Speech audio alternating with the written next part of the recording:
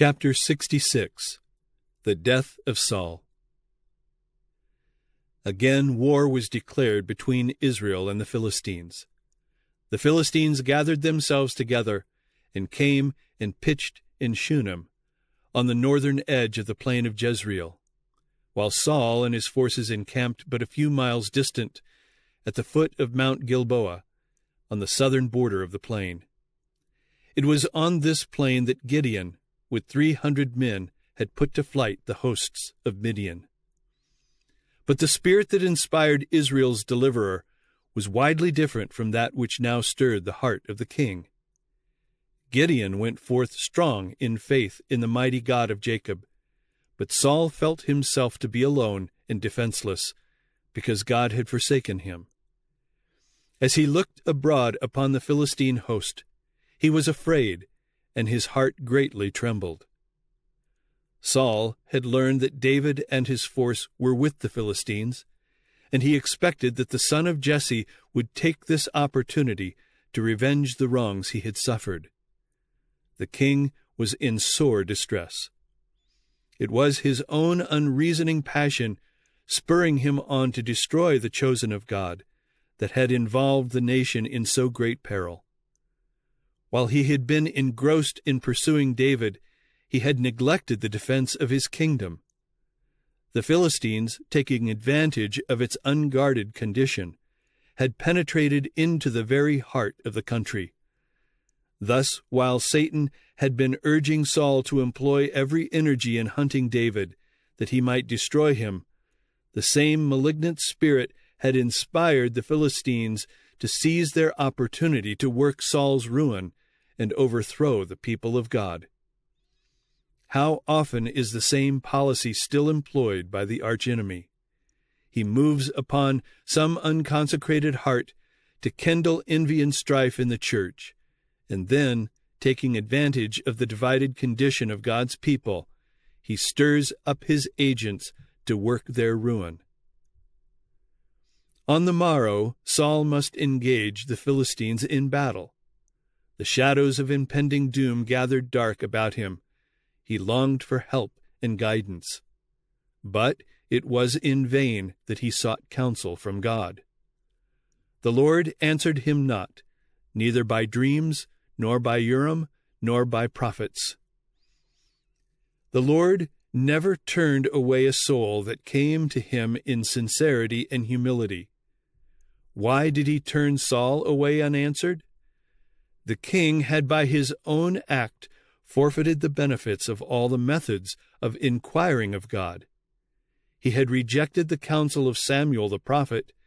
He had exiled David, the chosen of God.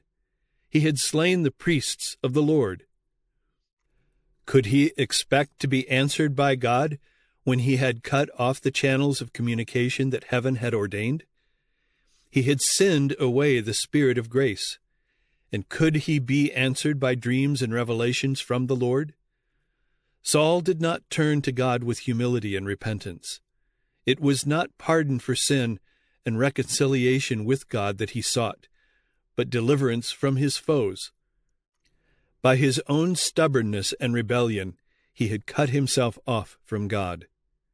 There could be no return but by the way of penitence and contrition. But the proud monarch, in his anguish and despair, determined to seek help from another source. Then said Saul unto his servants, Seek me a woman that hath a familiar spirit, that I may go to her and inquire of her. Saul had a full knowledge of the character of necromancy. It had been expressly forbidden by the Lord, and the sentence of death was pronounced against all who practiced its unholy arts. During the life of Samuel, Saul had commanded that all wizards and those that had familiar spirits should be put to death. But now, in the rashness of desperation, he had recourse to that oracle which he had condemned as an abomination. It was told the king that a woman who had a familiar spirit was living in concealment at Endor. This woman had entered into covenant with Satan to yield herself to his control, to fulfill his purposes. And in return, the prince of evil wrought wonders for her and revealed secret things to her. Disguising himself, Saul went forth by night with but two attendants to seek the retreat of the sorceress. O pitiable sight! The king of Israel led captive by Satan at his will. What path so dark for human feet to tread as that chosen by one who has persisted in having his own way, resisting the holy influences of the Spirit of God? What bondage so terrible as that of him who is given over to the control of the worst of tyrants, himself? Trust in God and obedience to his will were the only conditions upon which Saul could be king of Israel. Had he complied with these conditions throughout his reign, his kingdom would have been secure. God would have been his guide, the omnipotent his shield. God had borne long with Saul, and although his rebellion and obstinacy had well nigh silenced the divine voice in the soul, there was still opportunity for repentance. But when in his peril he turned from God to obtain light from a confederate of Satan, he had cut the last tie that bound him to his Maker. He had placed himself fully under the control of that demoniac power which for years had been exercised upon him and which had brought him to the verge of destruction. Under the cover of darkness, Saul and his attendants made their way across the plain, and safely passing the Philistine host, they crossed the mountain ridge to the lonely home of the sorceress of Endor. Here the woman with a familiar spirit had hidden herself away that she might secretly continue her profane incantations. Disguised as he was, Saul's lofty stature and kingly port declared that he was no common soldier. The woman suspected that her visitor was Saul, and his rich gifts strengthened her suspicions. To his request, I pray thee, divine unto me by the familiar Spirit, and bring me him up, whom I shall name unto thee. The woman answered, Behold, thou knowest what Saul hath done, how he hath cut off those that have familiar spirits, and the wizards out of the land. Wherefore then layest thou a snare for my life, to cause me to die? Then Saul sware to her by the Lord, saying, As the Lord liveth, there shall no punishment happen to thee for this thing. And when she said, Whom shall I bring up unto thee? He answered, Samuel. After practicing her incantations, she said, I saw gods ascending out of the earth. An old man cometh up, and he is covered with a mantle. And Saul perceived that it was Samuel, and he stooped with his face to the ground and bowed himself. It was not God's holy prophet that came forth at the spell of a sorcerer's incantation, Samuel was not present in that haunt of evil spirits. That supernatural appearance was produced solely by the power of Satan. He could as easily assume the form of Samuel as he could assume that of an angel of light when he tempted Christ in the wilderness. The woman's first words under the spell of her incantation had been addressed to the king Why hast thou deceived me? for thou art Saul. Thus, the first act of the evil spirit which personated the prophet was to communicate secretly with this wicked woman, to warn her of the deception that had been practiced upon her. The message to Saul from the pretended prophet was, Why hast thou disquieted me, to bring me up? And Saul answered, I am sore distressed for the Philistines make war against me. And God is departed from me, and answereth me no more, neither by prophets nor by dreams. Therefore I have called thee, that thou mayest make known unto me what I shall do. When Samuel was living, Saul had despised his counsel and had resented his reproofs.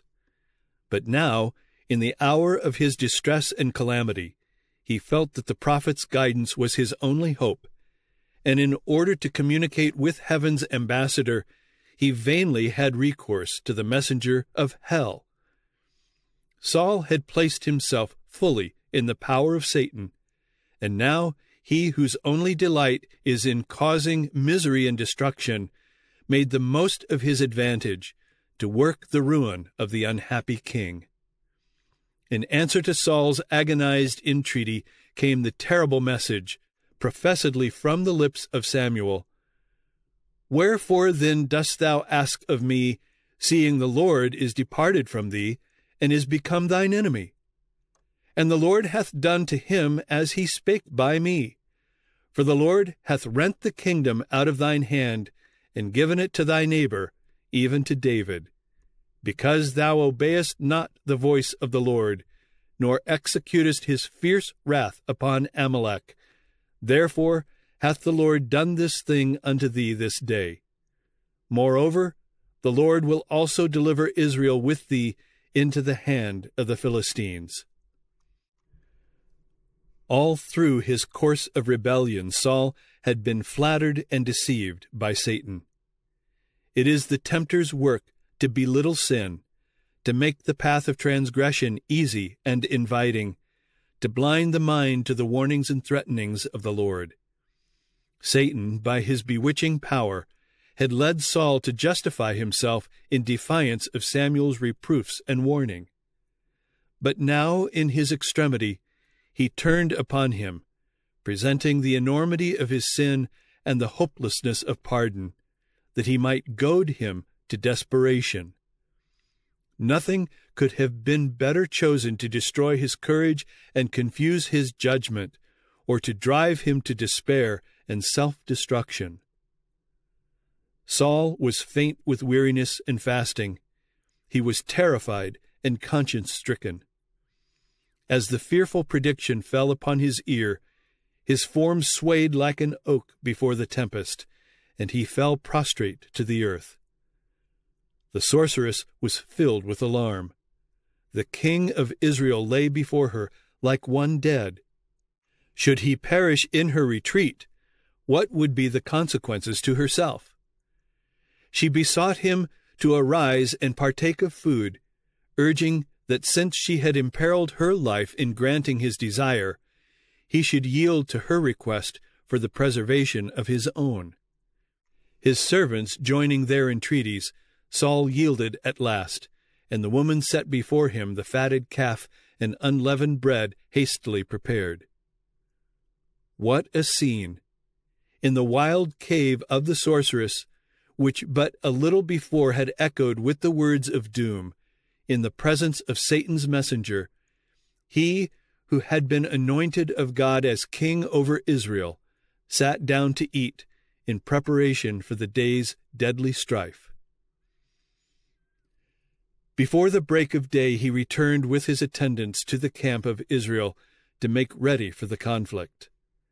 By consulting that spirit of darkness, Saul had destroyed himself. Oppressed by the horror of despair, it would be impossible for him to inspire his army with courage. Separated from the source of strength, he could not lead the minds of Israel to look to God as their helper.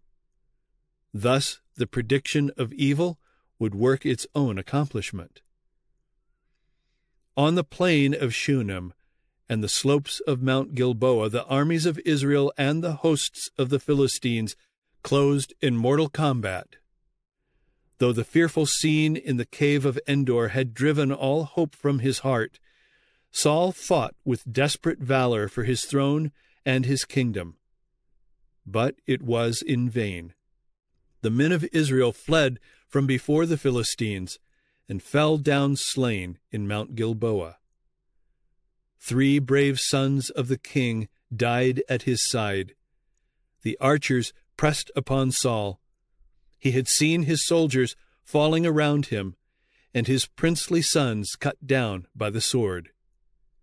Himself wounded, he could neither fight nor fly. Escape was impossible, and determined not to be taken alive by the Philistines, he bade his armor bearer, Draw thy sword, and thrust me through therewith. When the man refused to lift his hand against the Lord's anointed, Saul took his own life by falling upon his sword. Thus the first king of Israel perished with the guilt of self murder upon his soul. His life had been a failure, and he went down in dishonor and despair because he had set up his own perverse will against the will of God.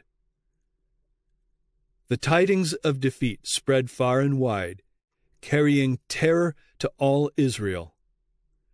The people fled from the cities, and the Philistines took undisturbed possession. Saul's reign, independent of God, had well nigh proved the ruin of his people. On the day following the engagement, the Philistines, searching the battlefield to rob the slain, discovered the bodies of Saul and his three sons. To complete their triumph, they cut off the head of Saul and stripped him of his armor. Then the head and the armor, reeking with blood, were sent to the country of the Philistines as a trophy of victory, to publish it in the house of their idols and among the people. The armor was finally put in the house of Ashtaroth, while the head was fastened in the temple of Dagon. Thus the glory of the victory was ascribed to the power of these false gods, and the name of Jehovah was dishonored. The dead bodies of Saul and his sons were dragged to Beth Shan, a city not far from Gilboa, and near the river Jordan. Here they were hung up in chains to be devoured by birds of prey. But the brave men of Jabesh Gilead, remembering Saul's deliverance of their city in his earlier and happier years, now manifested their gratitude by rescuing the bodies of the king and princes and giving them honorable burial. Crossing the Jordan by night, they took the body of Saul and the bodies of his sons from the wall of Beth Shan and came to Jabesh and burnt them there. And they took their bones and buried them under a tree at Jabesh and fasted seven days. Thus the noble deed performed forty years before secured for Saul and his sons burial by tender and pitying hands in that dark hour of defeat and dishonor.